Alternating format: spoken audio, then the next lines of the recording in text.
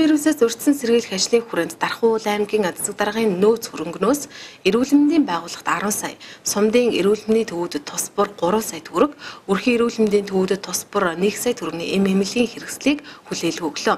Сумдын эрүүл мэндийн төвд амны хаалт, халаад, комбинзан, нүдэн шил, хормогч, бэйли, духны халуун хэмжигч, спирт, санитол, уловч, вирусын эсрэг эм, ариутгах бодис зэрэг нийтдээ 22 нэр төрлийн эм эмнэлгийн хэрэгслийг хүлээл өгчээ шинээр бүртгэгдсэн коронавирус өвчнийг бол урдсан сэргийлэх зорилгоор бид бас нөөцөө ерөнхийдөө бүрдүүлж явсан боловч маскны маань хэрэгцээ маш их өндөр болсон, олдцоос ховор болсон талбуудуулаад өнөөдөр бол нөөцөд маш ховор болсон байсан. Тэгээд одоо аймгийн засаг даргын нөөц хөрөнгөөс 3 сая төгрөгийн ийм сайхан хамгаалах хувцас хэрэгсэл одоо ариутгалын бодис яаралтай үед хэрэглэх бүх техник хангамжийн юмнууд за сайхан бас тоног төхөөрөмжүүд мөн вирусын эсрэг эмнүүд бас өгсөнд бол маш их баяртай байна. Бидэд бол одоо эдгээр хамгаалах хувцас хэрэгсэл бодисынхаа одоо нөөцийг эмнэлэгтэй болоод авснаар орхон сумын ард иргэдэд инглиз зөвшөлтийг яаралтай цаг алгүй шуурхаа үзүүлэх орхон сумын ард иргэдэг бас хамгаалахад илүү төлөвцтэй их сайхан зүйл болж байна. Дархуул аймагт 5 өрхийн эрүүл мэндийн төв үйл ажиллагаа явуулдаг.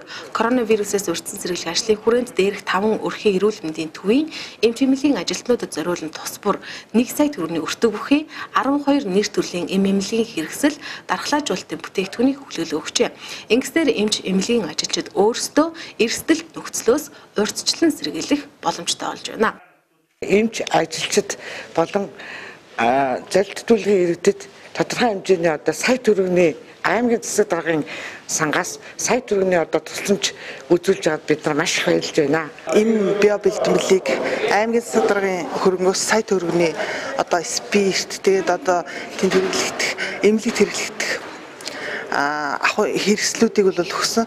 А 12 цагт бол аймгийн засаг дараагаас бас Оросын холбооны улсад үйлдвэрлэсэн мянган ширхэг маскыг иргэдэд орж ирсэн иргэдэд бол өгөхөөр өрхийн имлгүүдэд хуваарлаж 5 өрхийн имлэгт бол өгсөн байгаа. За энэ мянган ширхэг маскыг болохоор яаж тараах юм бэ гэхээр өрхийн эрүүл мэндийн төвөөр одоо үйлчлүүлж байгаа.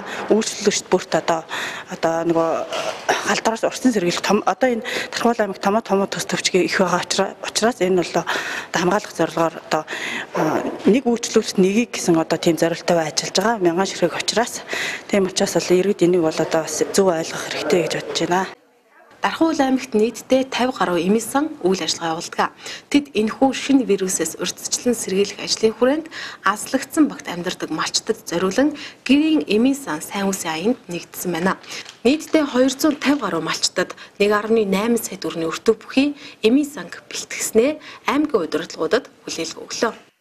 Дархуул аймгийн алслагдсан багийн иргэд болон малчтад нэг шаардлагатай амин чухал гэрийн ороох эмийн сангийн ороох ороох бах материал халдваргүйжүүлэх за тэгээд наад захын эмийн эмүүдийг бол бэлтгэж ингэж өгч байгаа. За энэ энэгээр нийт нэг 205 За шарын гол самтайгаа нийлэх юм бол нэг 250 гаруй гэрийн эмийн сан бэлдэж өглөө. За нийт өртөг нэг сая 700 сая 800 төгрөгний энэ сай үлзээ энд нийт эмийн сангууд оролцож байгаамаа. Ахтуугийн найрамдалт харилцаатай улаан удахтын удирдлагуудад Тархуул аймгийн засаг дарга Насанбат эмэмлэгийн хэрэгсэл амны хаалт нийлүүлэх хүсэлтийг тавьсан. Хүсэлтийн дагуу манай аймагт эмэмлэгийн хэрэгсэл 8000 гаруй амны хаалтыг нийлүүлжээ. Монгол улсын хэмжээнд эрэлттэй байгаа амны хаалтыг өрхийн эрүүл мэндийн төвөөр үйлчлүүлж байгаа иргэд төрийн үйлчлэлийн албах агч эрсдэлт буюу захын гэр хороолд амьдарч байгаа хүүхэд багчуудаа өн төлбөргүйгээр тараах ажлыг эхлүүлж байгаа юм байна.